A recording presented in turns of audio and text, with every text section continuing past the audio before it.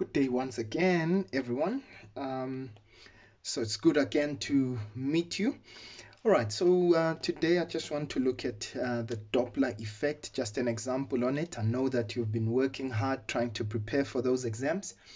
All right, so um, we've already produced a video on it. Um, so this would serve just as a reminder and a revision uh, for those of you who have not really watched it. Okay, so if you haven't subscribed, please make sure that you do the right thing. Okay, please make sure that you subscribe to our channel. And by the way, uh, don't forget to hit that thumbs up, you know, uh, just if you like the lessons. And by the way, for those of you who are still interested in finding out more about uh, our sessions on either maths or science, who need help with tutoring, uh, you can just contact me at info at mlungisinkosi.co.za. I'm just going to make sure that I provide that email address on the um, description of the video as well as um, uh, you'll see it on the screen right there. Right? Um, right let's get right into it. Um, so here I've got the 2016 uh, paper from Gauteng. This is uh, this was a prelim by the way uh, just on the Doppler effect. Okay, let's get into it. It says a, a flying bat emits sound waves at a frequency of 75 hertz. Right now, there's a stationary observer that detects a frequency at the sound waves emitted at 73. Okay, now, first of all, you can already see that the emitted frequency and the one that's detected are different. Okay, and obviously, we're going to talk about that. Okay, and they say the speed of the sound in air is 340 meters per second. All right, now, first of all, they say state the Doppler effect in words.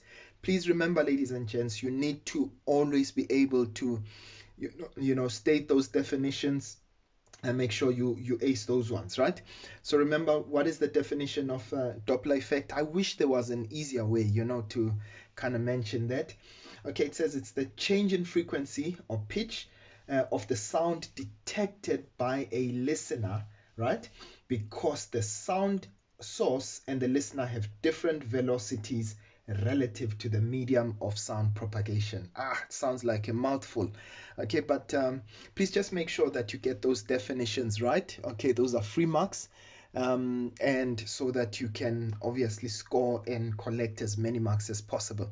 Right, now let's get to the next question. They say, is the bat flying away uh, towards or away from the observer? Now note, in this particular case, we've got, um, you know, the frequency that's emitted by the bat as 75. So obviously that's our source, okay? And the stationary observer, however, is detecting a frequency of 73. All right. So remember, we know that when the frequency of the um, uh, the observed frequency is less than the frequency of the uh, emitter, okay, the emitted frequency. So in this case, it simply tells us that this bat must be moving away. Remember, it's the source that is moving in this case, so it must be moving away from the observer. Okay, so obviously, if that frequency was higher than the emitted frequency, then it would mean that uh, um, it would be moving towards, right? Now, they give us the speed of sound uh, that is in air. Uh, to be 340 meters per second. Okay, so we've answered that question we said it's moving uh, uh, away. Okay so they say to you calculate the speed at which the bat is flying. Okay i wish i could be able to draw it uh, but you know my drawings are terrible. Okay so um, what are we going to do? We say well let's apply the doppler effect. So uh, I, I equation simply says okay the frequency of the listener that's v plus minus vl okay v plus minus vs over uh, multiplied by fs the frequency of the source right? So now we know um, we are looking for the speed at which the bat is flying. Remember as our bat in this case is uh, the source okay? So in this case we know that the observed frequency is actually 73 right So that's the frequency of the listener. Okay. So, however, what I want to do is remember in our video where we did the Doppler effect, we said what you simply do, because I know my answer is less than the actual frequency that is emitted, what type of fraction should this be? Right? If you remember for those of you who watched it if you haven't please go and watch that video. So this must be a proper fraction. So when you multiply anything with a proper fraction right uh, the result is actually less than uh, what you multiplied with right? So in this case um, I'm trying to make a proper fraction. So I'm going to have v. Now note uh, the speed of the listener that's what I want right so in this case, uh, I want you to please stay with me. So I know that um, the speed of the source, or, or rather the speed of sound in air, is that's my v there. But what about my source? That's the one that's uh, moving. And my listener is stationary. So in this case, I know that it's going to be v plus 0. Okay, so the speed of the listener is 0. So in this case, if I want to make it a, a proper fraction, it means in a proper fraction, this bottom part here, or the denominator, must be greater than the numerator. So which sign am I going to have? Of course, it's going to be a positive there, right? So it means that uh, this would be a proper fraction. So in this case, we say plus fs. So that's going to be uh, FL there, right? So what about the frequency of the listener? The frequency of the listener in this case, that's going to be 73. Now I'm going to just substitute quickly there. Okay, that's going to be 340 divided by uh, 340 uh, plus that's the speed of the source that's what I'm looking for but I know that this uh, the frequency of the source was given as 75 okay? Right i'm sure you've got your calculators out there okay? So we're going to just do a little bit of mathematical gymnastics to try and determine that answer okay? So before we uh, calculate let's just make sure that we simplify this mathematically. So what you actually have there is uh, if we cross multiply all right? So i'm going to have 75 remember this is over 1 as well so that's 340 times 75 okay uh, i mean uh, 340 times 75 multiplied by 1 okay so here we're going to have 340 times 75 which is equals to 73 into 340 plus vs. Okay so we've cross multiplied over there. So in this case uh, let's just make um, our calculation easier. So I'm just going to divide by 73 over there. So I will also do the same on that side. So that cancels with that. So here we are left with just 340 plus VS so that's 340 plus VS now let's try and work that out and find a simpler answer. So that's 340 uh, multiplied by 75 over 73 so that's 340 divided by uh, 70 okay and I get an answer of 349 on the left hand side.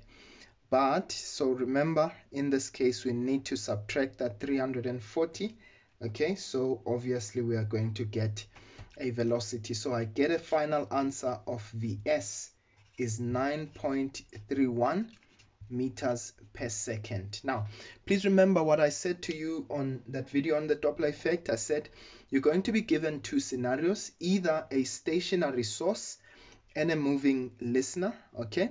Or you're going to have a stationary listener and a moving source. So in this particular case, we had a moving source, a stationary listener. So you must always look out for that. And uh, by the way, just remember, if you always want to make this part uh, to be smaller, in this case. So for uh, instances where um, the observer or the you know the the you know the the, the listener um, the observer rather or the emitter is moving away so we know that the frequency will be lower right so obviously we're going to always use um, you know a proper fraction but obviously if it's moving towards we're going to always have an improper fraction for that. Okay right. Now this is our final answer when it comes to that. Now let's look at the um, the last question there. Uh, obviously this these are theory based questions and um, you know you have to master them. You have to try and get as maximum as as many marks as you possibly can. Now they say to you briefly explain the observation that enables scientists to tell that the universe is expanding. Okay? Uh, just to explain that uh, uh in simple terms remember ladies and gents that what scientists do is that they observe the um, line emission spectrum of uh, you know distant stars right and they tend to observe that the line emission spectrum of those distant stars is slowly shifting towards the red end of the spectrum okay? And what does that indicate to us? That uh, it, it is actually moving towards the lower wavelengths and as a result it means that um, your your the, the stars are actually moving away. And that's what gave the you know the the conclusion that the universe is actually exp- expanding okay? Right and um, yeah you can find ways to just express that okay? Uh, i'm a bit lazy to write all of that down. Okay so and the last one they say state two applications of the doppler effect in medicine okay? Uh, please remember that it's used to uh, detect you know uh, the flow of blood from the veins um, through the veins and then also uh, they use it for for ultrasound you know to just detect the, the health of a baby okay uh, inside uh, a mother's womb right? So those are the two um, most prominent uses of it and I think I want to leave it there. I hope that this will be very helpful to you. Okay I'll see you guys next time. I'll um, please just keep working hard uh, just make sure that you you know you you try and do your best for these coming exams. And please no anxiety. All you need to do just watch my videos. Just make sure that you can practice a bit. No not a bit actually. Yeah practice quite a lot. And i promise you um, you know a combination of that will ensure that you can get those good results. Otherwise i'll see you guys next time. All right? Sharp sharp please don't forget to subscribe. A tada